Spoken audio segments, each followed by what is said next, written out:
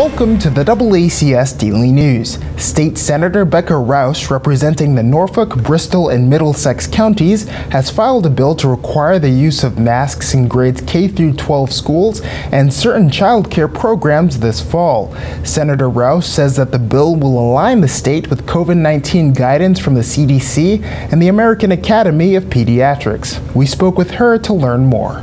Currently, Governor Baker is failing to comport and comply with the expert recommendations of the Centers for Disease Control, the American Academy of Pediatrics, and hundreds of public health and medical experts right here at home in Massachusetts, all of whom say that we need universal indoor masking in all school settings for everyone age two and up, beginning in, in just a number of days, really, at this point.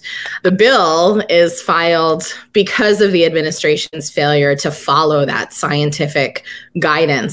Uh, and the bill would bring us into compliance uh, here in Massachusetts with those expert recommendations. So the bill contains three pieces. One is about masking. Uh, another is about uh, making sure that kids who need to get to their vaccination appointments are not penalized from an attendance perspective.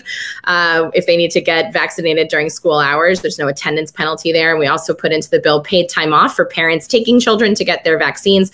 Um, vaccines, again, are currently available for all people age 12 and up, um, not yet available for children under 12, which of course is a big part of this conversation uh, because none of those younger children, really grade six and below, have any vaccination protection even available to them at this stage of the game.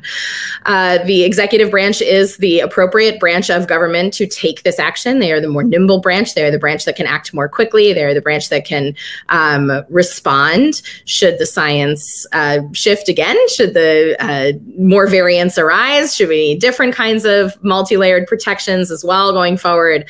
Uh, but unfortunately, we have a real um, absence of leadership and action from the executive branch right now it's uh, disheartening and disappointing to say the least. This is just another in a long line of failures of the governor to lead in moments when we need centralized statewide guidance. COVID 19 does not know boundaries. COVID 19 doesn't know the difference between one school and the next, between one school district and the next, or even between one county and the next. Nearly all, or I believe at this point, all of Massachusetts falls within the CDC's guidelines for indoor masking. The CDC has been consistent and throughout anyone who is not vaccinated should be masked indoors. Public health and medical experts have said time and again and explained it multiple times why variable masking policies, right, allowing for some people to be masked and some people to not be masked, uh, just is totally unenforceable and um, will fail to provide the protection that we need for all people in school communities. Also, our school communities are not actually limited to the uh, municipalities in which those uh, schools are located uh, through a number of different programs, including the METCO program. We have, we have students coming to different districts from a variety of different places.